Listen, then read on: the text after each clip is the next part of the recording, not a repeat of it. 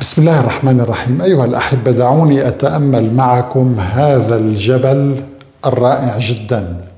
حقيقة لولا هذه الصورة وهذه الجبال لم نصدق أن هناك جبالا في السماء. لا أحد يصدق ذلك. الطائرات الآن عندما تطير تصور هذه الغيوم على ارتفاع آلاف الأمتار. هذه الغيمة أيها الأحبة قاعدتها عريضة جدا ولها قمة هنا تشبه الجبل أو الهرم انظروا معي. وهذا جبل آخر. وهنا جبال سلسلة سلسلة من الجبال سبحان الله تسبح في الهواء دون لا رافعات ولا حاملات ولا مثبتات ولا تحتاج إلى طاقة ولا تحتاج إلى مولدات ولا محركات ولا أي شيء. طيب هذه الغيمة يقول العلماء إنها تزن ملايين الأطنان ليست خفيفة ثقيلة جدا. طيب من الذي يحملها؟ بالفعل يعني نحن عندما نفكر في هذه الغيوم كيف تتشكل بهذا الشكل؟ بل لماذا تتشكل بهذا الشكل؟ لماذا لا تتشكل بالعكس؟ يعني لماذا تختار هذه الغيوم أشكال الجبال؟ ثم هناك شيء آخر أيها الأحبة. وجد العلماء أن هذا الارتفاع هنا الذي يمتد لمئات الأمتار وربما آلاف الأمتار هذا الارتفاع. من هنا يمتد لمئات الأمتار وأكثر ضروري جدا لتشكل ما يسمى حبات البرد. هذه الحبات الصغيرة القاسية من الثلج والتي تنزل أحيانا في بعض المناطق وتسبب اضرارا. يمكن أن يبلغ قطر القطعة بحدود 15 سنتيمتر. هناك قطعة سجلت قطرها 15 سنتيمتر هكذا. تصوروا أيها الأحبة. هذا هذا الجبل ضروري لتشكل حبات البرد. لماذا؟ لأن المطر عندما ينزل لا يحتاج للجبال. يتكثف بفعل تيارات الهواء الباردة درجات حرارة معينة بالإضافة إلى ظروف جوية معينة ينزل المطر.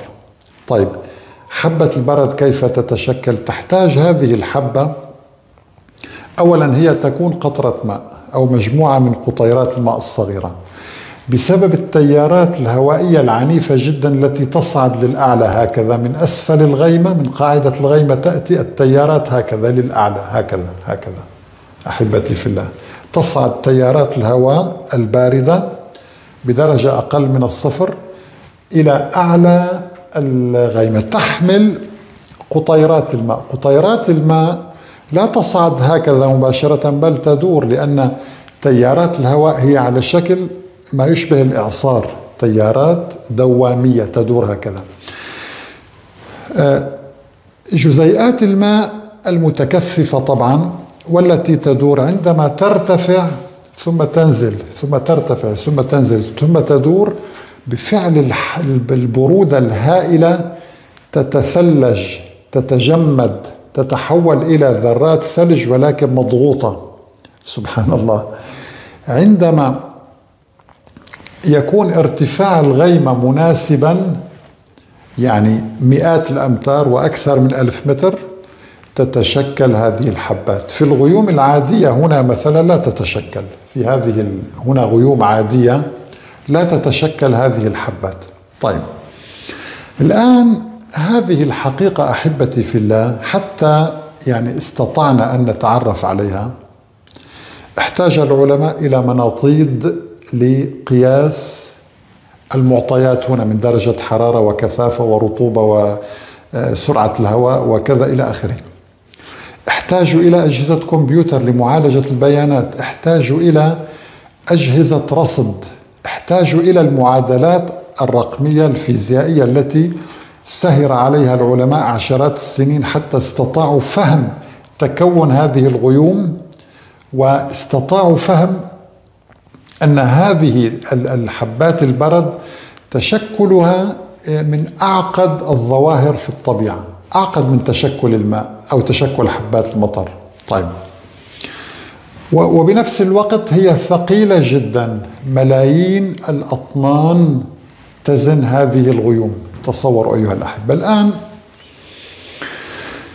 يعني أنا أود أن أتساءل وأوجه سؤالا لمن في قلبه شك من هذا القرآن. أنتم تدعون أن هذا القرآن كلام بشر. طيب النبي صلى الله عليه وسلم بعث في زمن كان الناس يظنون أن هذه الغيوم لا وزن لها. تمام؟ هاي أول شيء. ولم يتم وزن الغيوم إلا حديثا جدا في العصر الحديث.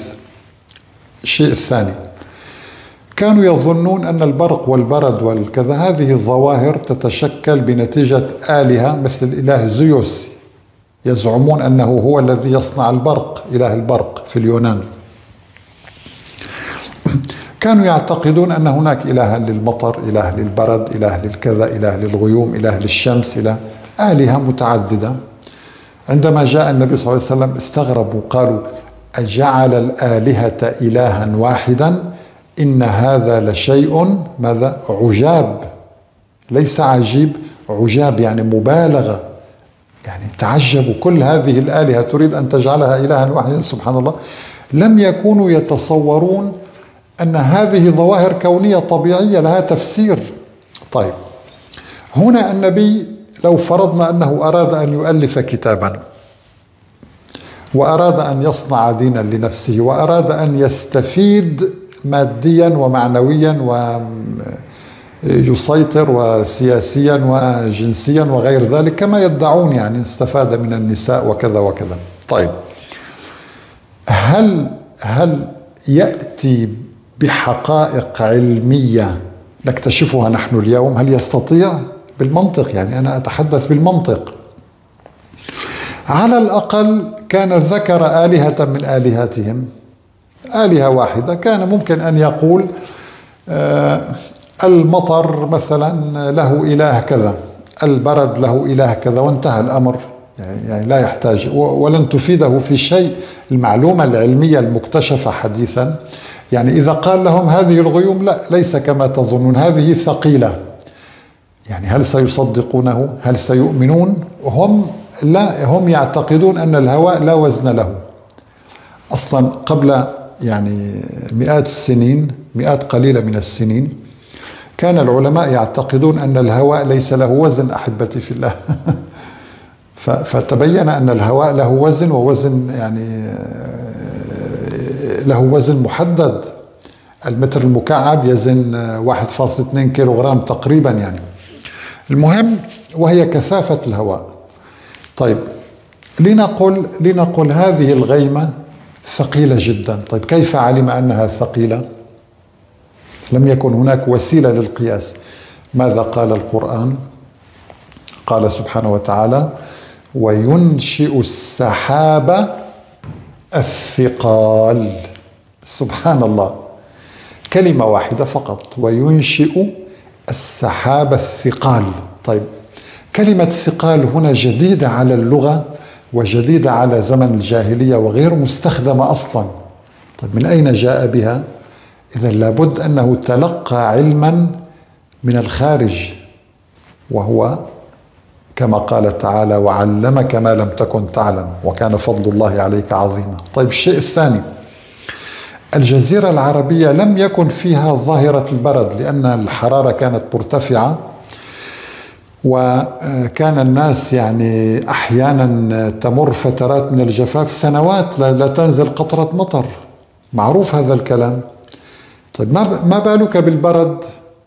يعني غالبا لم يكونوا يعرفون البرد أو ربما يرونه نادرا ظاهرة نادرة. لا تقدم شيئا له في دعوته لأنه كان الأجدر به إذا أراد أن يكسب هؤلاء الناس أن آه، يعطيهم معلومات عن الجمال عن الإبل عن الصحراء عن الحبيب عن الكأس آه، عن الخمر عن الكذا. هذا الجو السائد يعني.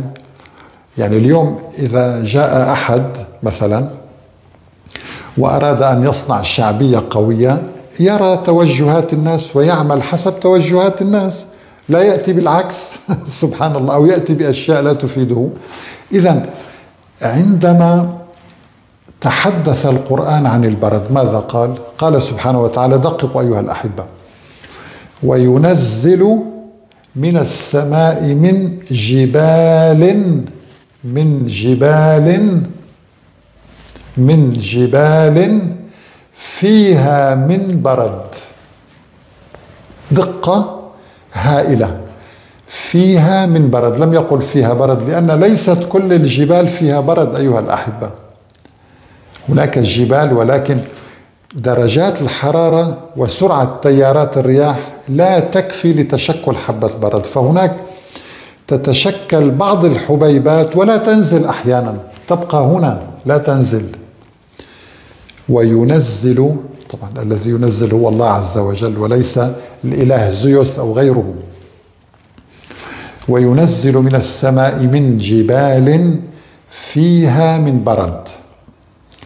فيصيب به من يشاء بالبرد هذا حبات البرد. فيصيب به من يشاء ويصرفه عن من يشاء.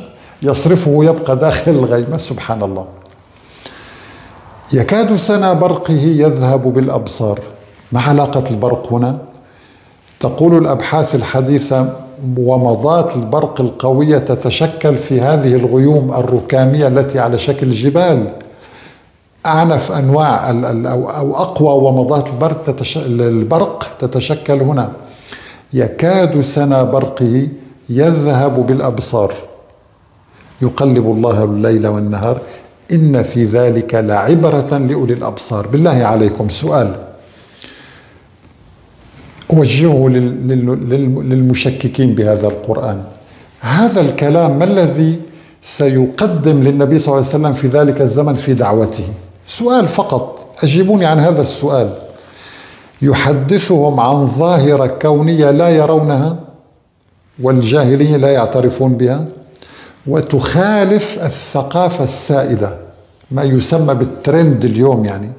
ترند في ذلك الوقت كان الجمل والصحراء والخمر والنساء يخالفها تماما. طيب يعطيهم وصفا دقيقا لوزن الغيمة وشكل الغيمة. جبال إذا الوزن ثقال الشكل جبال.